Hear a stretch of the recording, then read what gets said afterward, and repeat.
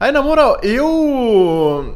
Eu esperava já que a Square fosse ser vendida, mas por esse valor, acho que nem no, nos meus, sei lá, piores sonhos isso iria acontecer. E não foi nem Sony, nem Microsoft que abocanhou a Square por 300 milhões de dólares essa micharia. Isso aqui é uma micharia, tá? Só pra vocês terem noção. Antes vocês acharem que eu tô falando bobrinha aí, mano, só o jogo dos Vingadores custou quase isso. Se eu não me engano, o jogo dos Vingadores custou para ser feito 3, é, 200 milhões de dólares.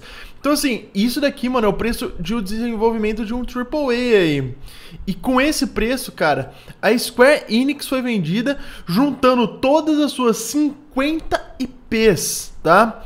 As suas 50 IPs, seus estúdios, Square Enix Europe, Square Enix uh, Eidos, né? Crystal Dynamics e Square Enix Montreal. Mano, tudo, cara.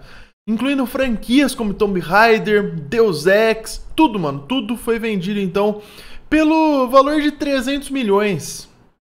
Cara, que doideira, que doideira. E não foi nem Sony nem Microsoft que acabou comprando, foi a Embracer Group, uma das empresas aí que mais tem se falado dela nos últimos tempos, tá com muita grana, tá com bastante dinheiro para ser investido. E, e sério, cara, isso daqui foi um achado absurdo para a Embracer Group.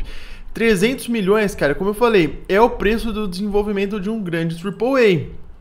Com preço de um jogo, os caras compraram uma das empresas mais. Pô, é Square Enix, né, cara? É Square Enix. Pelo menos a sua divisão ocidental. Os estúdios japoneses e tal ainda permanecem do mesmo grupo Square Enix antigamente. Não sei como que vai ficar essa divisão, se eles vão manter o mesmo nome ou não, mas tudo além dos japoneses foram vendidos então e todas as franquias, cara, são 50 IPs, além de todos esses estúdios aqui que são grandes, né? Square Enix Europe, a Eidos também, Crystal Dynamics faz jogos, né, muito grandes e tá até falado aqui, mano, deixa eu ver. Ó, o Marvel Avengers custou cerca de 150 milhões e o Tomb Raider 200 milhões. Então, cara, só com o desenvolvimento de dois jogos já, já, ultrapassar, já, já ultrapassaria o valor que a Embracer Group passou, é, pagou aí pela, pela Square e todas as suas desenvolvedores, todas as suas IPs.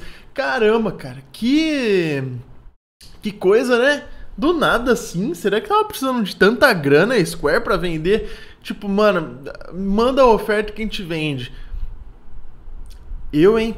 Galera, se gostou do conteúdo, deixa um like aí, beleza? Fortalece, tô deixando pra você o link na descrição da loja onde eu compro os jogos, sempre muito baratos, Play Xbox, então vai lá e já garante o seu game, tá? E, e comenta aí no campo dos comentários o que vocês acharam disso, beleza? Valeu então, e até daqui a pouco em mais um vídeo.